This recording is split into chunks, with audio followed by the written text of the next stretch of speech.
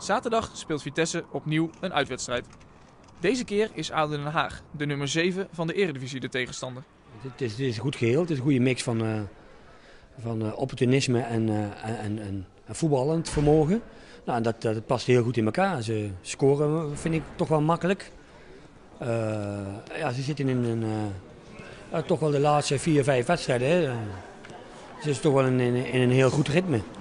Iedereen ziet ADO Den Haag als een meer, midden, uh, als een meer rechter, rechter rijtje. Ja, maar ze doen het gewoon fantastisch als, als team zijn. En als kan je wel zien, dan sta je of niks zevende. Ja, ik denk dat het een... Uh, ja, het wordt... Kijk, in fases zal het ongetwijfeld ook een beetje spierballenvoetballen worden. Dat, dat, ja, dat, past ook een beetje bij Den Haag. En zij schuwen het duel niet. Dus anderzijds is het ook wel zo dat wij, wij moeten ook proberen te voetballen. En, en als wij dat ook gaan doen en we kunnen dat koppelen aan... ja, en ook het, af en toe het fysieke geweld gebruiken ja, dan, kan het een, uh, ja, dan zou het eventueel een, een mooie wedstrijd kunnen worden. Jan-Arie van der Heijden miste het duel tegen FC Twente.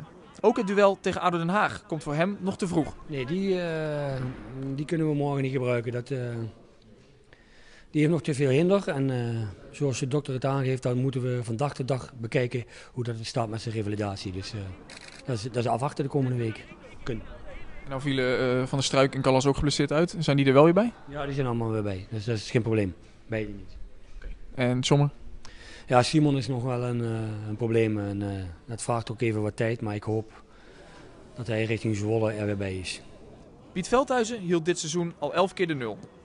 Dat doet hij natuurlijk niet alleen, maar met het hele team. Ja, ik denk niet alleen als verdediger, ik denk wel het hele team. De verdediging begint voorin, voorin, voorin bij, bij Boon en bij de spitsen als we het verdedigende taken gewoon goed doen, dan is voor ons verdedigers ook eh, een beetje makkelijk. En ja, voor Pieter dat fantastisch natuurlijk. Hij heeft ons ook uh, vaak geholpen en wij helpen hem vaak ook. Dus ja, natuurlijk fantastisch als team. En dan naar jezelf. Uh, je bent zelf aanvallend ingesteld als uh, linker verdediger. Je mag ook van de trainer volgens mij veel opkomen. je hebt een goal tegen Ajax. Volgens mij ben je bezig aan een goed seizoen. Ja, zo kan je het wel zien. Ja, ik ben bezig aan het ontwikkelen dat ik elke wedstrijd gespeeld heb. Zo kan je het wel zien. Ja, um, ja, ben gewoon goed bezig en ik moet het gewoon volhouden. We hebben de supportersvereniging Vitesse en Vitesse zelf uh, gezocht dat er 500 supporters meegaan. Dus een vol uitvak in Den Haag. Uh, dat is fijn voor de ploeg, neem ik aan.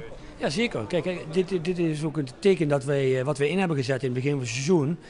Dat is, en zeker ook in, in thuiswedstrijden, ja, er komen toch meer mensen. Er zijn, mensen zijn toch meer tevreden. De, A, de resultaten en en uh, onze thuiswedstrijden, ja, die, die binden toch mensen. En, dat is, uh, en als ze nu ook meegaan naar de uitwedstrijden, dan kan ik dat alleen maar toejuichen. De supporters hebben ons dit jaar gewoon uh, hartstikke goed gesteund bij alle wedstrijden uit en thuis. Die zijn daar een groot compliment voor them, ja.